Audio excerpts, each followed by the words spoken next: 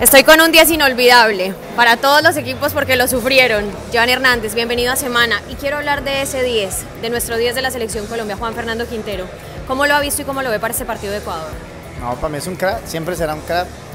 Eh, sabemos que Juan, donde, a donde esté le dé el tanque, nos va a ayudar a, tener maravillas y, ya no la posibilidad de esas filtraciones para esos delanteros, para la selección, colocarla a jugar al son que, que él lo desee necesitando acompañamiento para con él y, teniendo la posibilidad de, que ese mismo acompañamiento los lleve a, buscar eh, esa media distancia que tiene, esos pases en, centro y filtrados para un Falcao, un Borré o el, que vaya a meter el maestro Rueda, que puede ser Roger o que puede ser eh, eh, en este caso Dubán esperando que le siga yendo bien. esto, es una, esto es un clima jodido, es difícil. A veces está uno, a veces no está uno, pero la ayuda grupal le ayuda a salir adelante.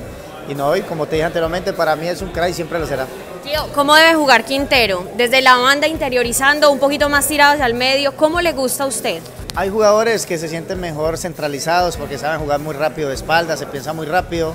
Me parece a mí que, Juan Fernando es más para que esté siempre de frente al, al arco rival eh, no tanto de espalda. Entonces, si miramos bien las, la secuencia dentro del terreno de juego, lo que es plasma dentro del mismo es siempre arrancando por el sector derecho, eh, con perfil cambiado, obviamente él utilizando su, su, perfil izquierdo, que siempre va para adentro, puede pegar en media distancia, tirar un buen centro, filtrar. De igual manera él sale por cualquiera de los dos lados, pero sí en, un porcentaje muy alto es por siempre busca su, su pierna izquierda para poder eh, eh, da la oportunidad de que se sienta bien él y, el equipo. Cuando uno mira los 10 dice, ¿será que se está perdiendo el 10 tipo pibe, tipo Magnelli o se está reinventando este fútbol, se está modernizando tanto que se tienen que acomodar a otros esquemas tácticos? Yo siempre lo dije y lo hablo con todo el respeto del mundo y es mi percepción y es que un cara como Guardiola le hizo daño al fútbol. Eh, todos queremos europeizarnos, todos queremos de que ya no haya 10, de que el delantero juegue defensa, que el defensa juegue de extremo, que el extremo juegue de arquero, etcétera, siempre buscando esa polifuncionalidad de los jugadores. Pero bueno, a mí me enseñaron que de la formación, desde la formación a uno le enseñan a jugar en una posición, después de una determinada edad, hablo de los 12, 13 años, eh, le buscan una, una posición y se trabaja con base a esa posición para realmente ser eh, lo que uno desea, el ser profesional y que esa posición le vaya bastante bien pero hoy ha cambiado una cantidad de cosas y eso ha hecho mella para que los modelos de juegos no se vean los volantes de, creación hoy y los tiren a un lado. ¿le hizo falta algún volante de creación en la nómina de Colombia? Cuando se cae Borja por lesión, todos decíamos, puede estar el riflecito, puede, bueno, eh, se dieron alternativas. ¿A usted le hizo falta alguno más con esas características? No, yo ahí no tengo que pensar en lo absoluto.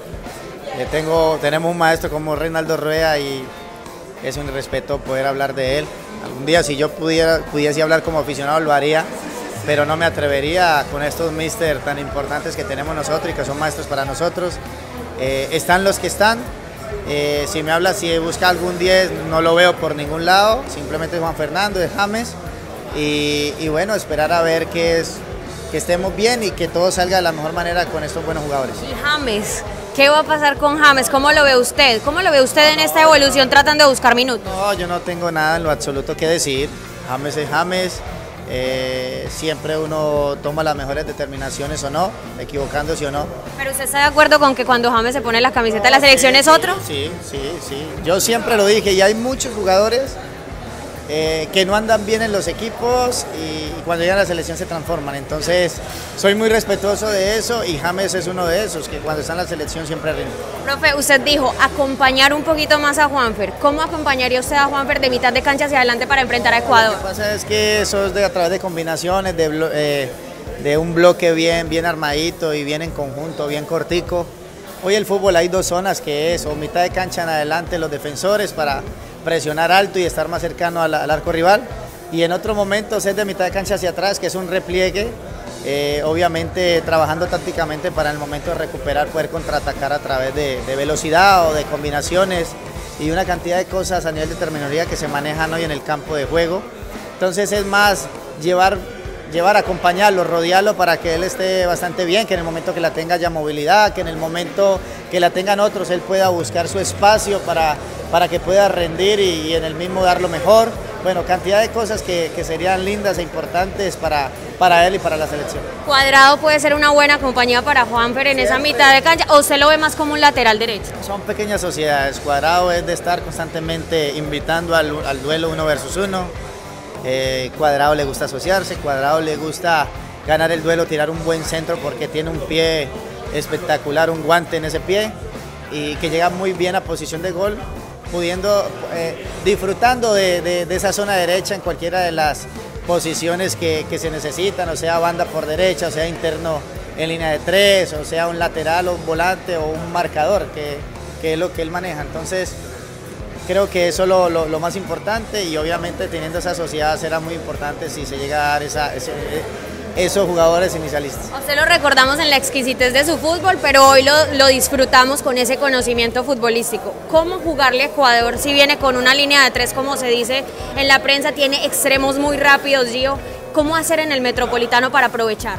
Lo que pasa es que cuando se juega a línea de cinco, eh, la que pueda, no sé, utilizar Ecuador, es, buscando que esos hombres que están por fuera, hablamos de unos volantes laterales, son los que, como tú dices ahorita, se convierten en extremos, se interioriza más, se juega más por la mitad sabiendo esos jugadores que por las bandas hay jugadores eh, de Ecuador, tanto por derecha como por izquierda, y llegando con buenos hombres a la misma posición de gol. O sea que tenemos que estar muy atentos a qué puede suceder, no sé cómo se le puede jugar, simplemente tenemos que ser muy equilibrados, tener mucha inteligencia sabiendo de que el partido de hoy es sí o sí, para que esos dos puntos que se lograron a través de dos empates nos puedan dar la oportunidad de que se brille como tiene que ser, sacando los tres con Ecuador. La última, ¿Falcao de titular o de rematador? Siempre me ha gustado Falcao a mí.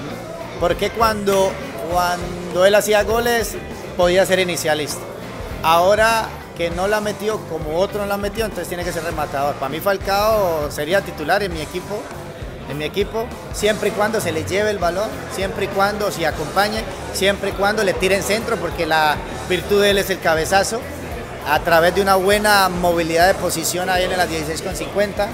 Entonces, imagínate, a mí me encantaría, me encantaría hasta donde le dé, listo, y ya entrarían los otros, pero siempre es ayudándole para que él pueda ser el jugador que, que para mí es. Gracias, siempre los conceptos muy valiosos, y un saludo a toda la gente de semana. Bueno, saludos a todos, bendiciones y espero estén muy bien.